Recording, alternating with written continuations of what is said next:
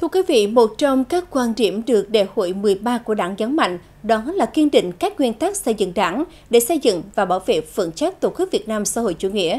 Nắm bắt và cụ thể hóa quan điểm này, Đảng bộ thành phố Đà Nẵng thời gian qua luôn quan tâm thực hiện nhiều giải pháp nhằm giữ vững các nguyên tắc xây dựng Đảng cũng như nâng cao trách nhiệm của người đứng đầu trong thực hiện các nguyên tắc xây dựng Đảng hiện nay.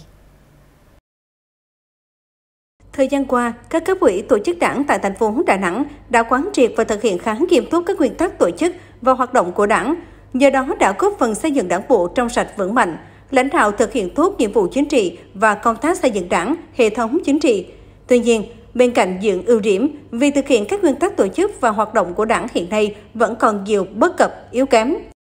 Tại hội nghị sơ kết 5 năm thực hiện nghị quyết số 18 và nghị quyết số 19 ngày 25 tháng 10 năm 2017 của Ban chấp hành Trung ương Đảng khóa 12, 7 năm thực hiện nghị quyết số 39 ngày 17 tháng 4 năm 2015 của Bộ Chính trị và quán triệt triển khai các văn bản của Trung ương, Thành ủy về công tác tổ chức xây dựng đảng và công tác cán bộ. Một trong những hạn chế được chỉ ra hiện nay đó là việc tự phê bình và phê bình vẫn còn nhiều bất cập. Về phê bình và tự phê bình thì cũng ở nhiều tổ chức cơ sở đảng là chưa phát huy được tác dụng qua phê bình và tự phê bình. À, cũng còn vị nể, nể nang, né tránh, cũng còn lợi dụng diễn đàn để khen lãnh đạo, à, cũng chưa phát hiện được bất kỳ cái vụ việc tham nhũng tiêu cực nào qua kiểm điểm sinh hoạt chi bộ, phê bình và tự phê bình trong nội bộ của đảng, trong nội bộ của của chi của tổ chức cơ sở đảng.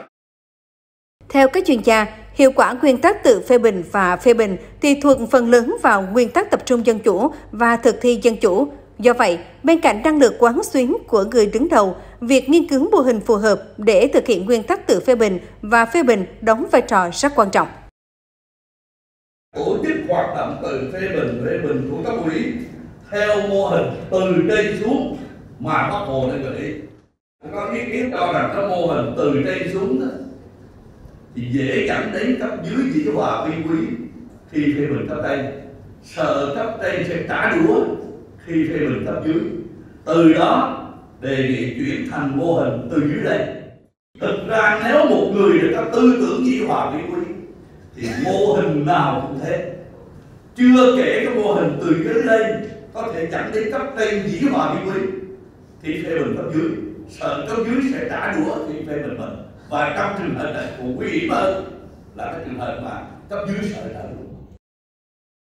Mặt khác, nhìn trên bình diện chung của đảng ta, nhận thức của một bộ phận cán bộ đảng viên hiện nay về các nguyên tắc chưa đầy đủ, toàn diện, sâu sắc, một số nguyên tắc chưa được cụ thể hóa bằng các quy chế, quy định để triển khai thực hiện. Vì thực hiện một số nguyên tắc còn tùy tiện, bị bóp méo, thậm chí vi phạm nghiêm trọng, gây hậu quả xấu, làm giảm tính nghiêm minh của kỷ luật đảng. Đây cũng đang là những thách thức lớn đặt ra, đòi hỏi các cấp ủy tổ chức đảng cần tiếp tục có giải pháp quyết liệt, kiên định các nguyên tắc xây dựng đảng để làm cơ sở đảm bảo thực hiện các mục tiêu đã đề ra, biến chủ trương của đảng thành thực tế trong cuộc sống.